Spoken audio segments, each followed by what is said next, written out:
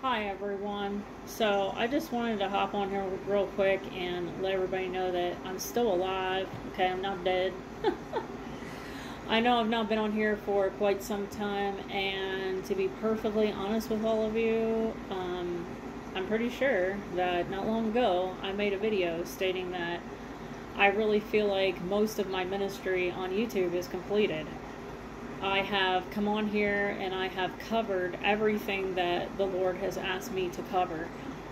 I mean, I have covered law and covenant. I have covered, you know, there's a lot of people in the churches today that don't understand um, law and covenant. They just don't. And I have come on here and I've explained everything. Um, I noticed that there were a lot of people in the churches that really are holding on to and embracing paganism, outright paganism, and that it's still in a lot of the churches. And so um, the Lord asked me to help Christians understand law and covenant and to help them understand that they need to cast the paganism out of the churches and get back to God's appointed times, his feasts and his festivals, which are to be kept throughout your generations until he returns. And even when he returns, we're going to be keeping the Feast of Tabernacles, or it says you will receive no rain. So I've gone over that. I have gone over. Um, the Lord shared with me that there are a lot of people out there who are really stuck in vanity and competing with one another the Lord showed me this and asked me to also address those issues of vanity and people competing with each other. He also asked me to expose any false doctrine and those who were teaching it. And I've done that. Um, it frustrates me because even though I have exposed some of these false teachers and their false doctrines, um, their followers just still follow after them, and these people show no signs of changing. And there is no point in continuing to expose people and their false doctrines on a regular basis. Now, if I see someone who puts out a video and it is totally something that needs to be addressed I will definitely do that. However, what I'm really trying to say here is that I don't feel that I am needed on YouTube as often as before because the Lord has asked me to cover those topics and I have done so. And there's plenty of resources up on this channel for people to learn and grow. And I don't feel that I am needed on here every single day for that. So that is really what I'm saying in a nutshell. The Lord has asked me to cover um, and covenant and paganism and vanity and competitiveness and materialism fits in with that as well. You know, people who hoard everything, they don't want to share, they just they're just greedy and they just want money. We're talking about things that would cause people to sin here, you know, and he's asked me to expose the false doctrine and those who teach it. So I've done that. So I do not feel that I am needed on this channel every single day or every single week for that matter. So if I feel that there is something that the Lord really wants me to get on here and say, I will definitely do that if He prompts me to do that. But the channel is really just up here for whoever needs it. Uh, there's plenty of resources in the playlist and if you look at my subscriptions, there's plenty of resources over there for people to learn and grow. And that's what's most important is that people can still learn and grow and get something out of this channel. So you're not going to see me on here an awful lot. Now, I did promise some people that I would go on some trips around Colorado Springs. I still plan to do that. We're still going to do that, okay? Um, if the Lord has something He wants me to share, I'm definitely going to come on here and I'm going to do that. If I feel like someone's video is out of line, I'm going to I'm going to come on here and I'm going to point that out. Okay. Um, but I just wanted to let you all know that I'm still alive, and I just wanted to reiterate, in case some people don't understand, that I feel that my ministry on YouTube, for the most part, is is completed, is done, and the channel is just up here for whoever needs the resources. And that does not mean that I will never come on here, because if I have something that I feel is from the Lord, I'm going to come on and I'm going to share it. Okay, um, it's just that I've completed everything the Lord has asked me to come here and do. Um, it gets very frustrating. It gets very frustrating when I check in on YouTube and check in on various channels and stuff. I have to be honest that it makes me want to stay away in some cases because there's a group of people on here who are just downright outright bullies and they enjoy hurting other people. They really, really enjoy that and they love, they enjoy gossiping about other people. And I don't want anything to do with that group. I don't want anything to do with those people at all. And the more silence and distance I give them, the better off they are. The better off they are. Um, and so that's really frustrating to see all of those reprobates all over YouTube. It's very frustrating. And another thing that really, really frustrates me are these people on YouTube who pay Jesus a lot of lip service and they get on their videos, they get out their Bibles, they talk for like half an hour or more or whatever. And they just pay Jesus a lot of lip service, but yet you can see that they are fake, they're phony. They're totally fake and phony. And Jesus said that those people would exist. He said that there would be people who honor him with their lips but their hearts are far from him. And I see those people on YouTube who honor him with their lips, but their hearts are far away. And you can see and tell that very easily. And that just really frustrates me. Um, it shocks me. It shocks me that I know what the Bible says. I mean, I know what the Bible says that these people exist, that there are going to be Christians who are faking it and they're paying Jesus a lot of lip service, but yet their hearts are not right with him. I get that, but it's it's really really hard to see like it played out. You know what I mean? Like on YouTube, it's really hard to see it played out. Like I go to these people's channels and I'm just constantly rolling my eyes and I'm just like, yeah, right, whatever, you know, because I know they're full of baloney.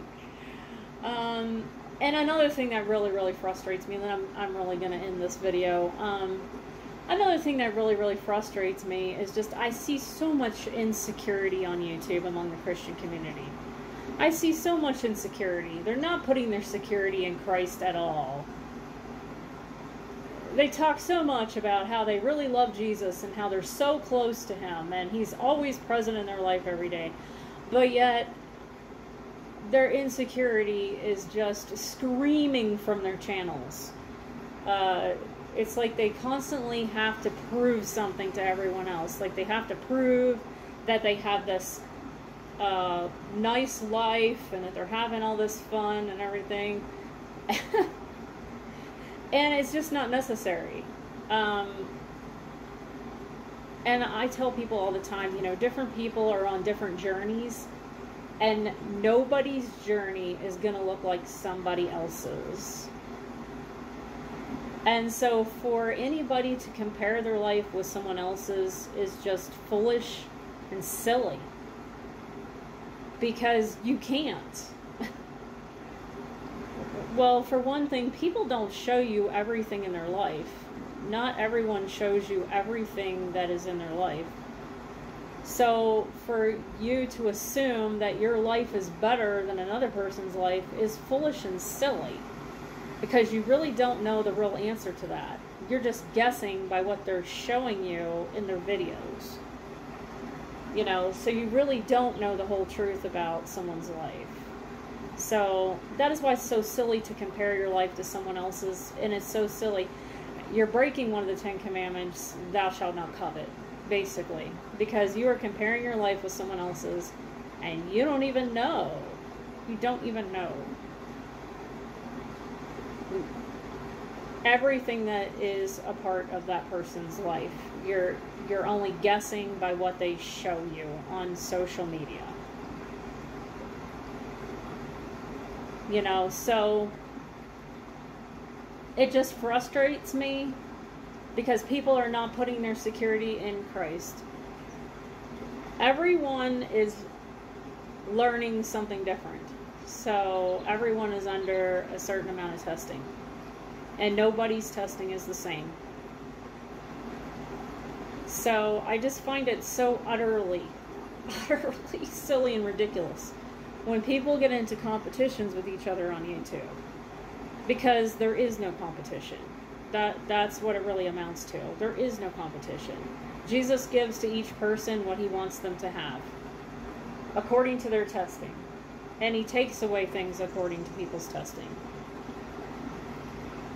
So, our goal is the kingdom. Okay, our goal is not our house, our cars, our material possessions, how good we look, whether we have a husband or not, whether we have kids or not. That is not what matters. What matters is our eternal destiny. Okay? We're working for the kingdom. We're looking forward to the kingdom. Um, I've said it before and I will say it again. People can have a lot of things down here. A lot of a lot of things. And they can also lose it all in the end. I mean, I just literally, honestly laugh at people, and you guys should too. I, I laugh at people who brag about every single thing they have down on this earth, but yet I can see clearly how fake and phony they are, right? That they're not really saved. And I think to myself, you know, enjoy enjoy your pleasures down here because that is the closest to heaven you will ever have. That is the closest to heaven you will ever come. Because I know that some people are going to have everything down here and not even make it to the other side. They're not even going to make it into the kingdom. They're going to, so they have everything they could have ever wanted down here and they lost it all. They lost it all in the end. So I tell people all the time stop comparing your life to other people's lives. And just the insecurity just frustrates me, you guys. The it's it's almost like so disgusting. It's so disgusting to me how insecure some people are like they feel like if someone else has something, they got to prove they've got it too. And you know, not only do they prove they have to have it, but sometimes they they they feel like they have to prove they have even more. And which is really silly and foolish, like I said before, because they don't even know that they've got more. They're just guessing that they do. Maybe the other person is, isn't even showing everything that they have. See, that's why we need to stop this. We need to stop the jealousy, stop the competitiveness. It's it's just disgusting me and making me want to stay off of YouTube, honestly. Because you know what? When it comes to my personal life, I have absolutely nothing to prove to anyone. I have lived a wonderful, fulfilling life on this earth. And if I were to die today, I'd die a happy woman. Okay? And so it just it's almost disgusting to me that some people feel so insecure that they feel like they have to constantly prove that they have the same thing that someone else has and maybe even more. It's so disgusting, isn't it? I mean, isn't that kind of disgusting?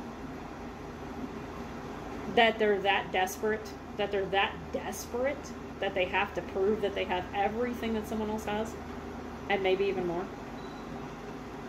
So I don't like that. I never have. You know, I, I do not like. I do not like braggarts. I do not like show-offs. I do not like. I don't care for insecurity. I mean, I understand to a certain point we're all kind of insecure in one area or another in life because that is just, you know, we're just human, right? We're not perfect.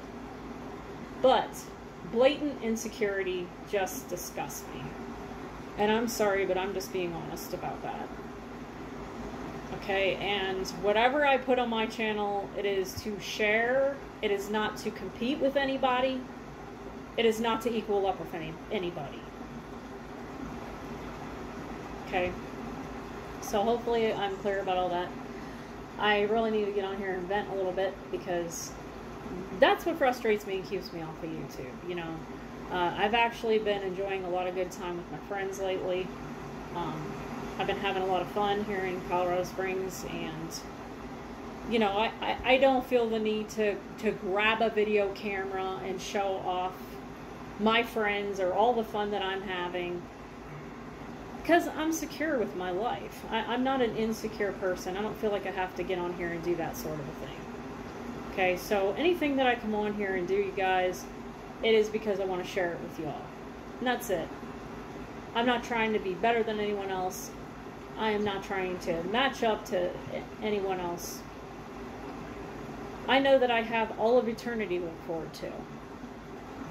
And like I said, I, I've lived a very happy life down this earth. Very fulfilling. And so if I died today, I would die happy. And nobody else has a right to judge me otherwise and say that that's that's not how I should feel or whatever. So, yeah, that's it, everybody. So I will be back on in the near future with some trips, just for fun. And I just wanted to get on here and share my heart a little bit about how I've been feeling. You know, this stuff just keeps me off of YouTube. It doesn't want me, doesn't make me want to get on here and make videos. It just wants, it just makes me want to to get away from YouTube. When I when I have to deal with a bunch of insecure Christians that have to prove something to everyone, when I have to deal with a bunch of bullies who won't leave me alone, when I have to deal with, you know, um, fake and phonies who pay Jesus a lot of lip service, but I know darn well they're not saved. That just really frustrates me. Um, but as for those of you who have supported my channel, I appreciate you. And we're kindred spirits, the ones who have supported my channel, because they understand me, they get me, and they appreciate the channel content. And I appreciate you guys, and this is not directed at you at all. So, um, this is directed at the rest of YouTube. So just keep me in prayer, you guys. Um, it is hard to have an office like this because this is the kind of stuff you have to deal with when you're called to do something like this. So, all of you, um, have a great day. I'm just going to get off here and spend some time with my son. And, uh, you know, my son really is a gift from God, an inheritance from the Lord. And if I did not have him, I don't know what I would do. I would I would be so empty without my son. So I think I'm gonna go spend some time with him and I'll catch y'all later. Have a great day.